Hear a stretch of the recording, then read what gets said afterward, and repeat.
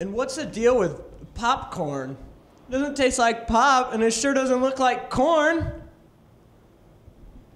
And like, and what's the deal with, with fishing?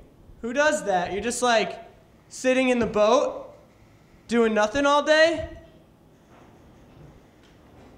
And like, I also I hate stupid questions. Like this guy was like, "Is today Tuesday?" And I was like, "All day." Uh.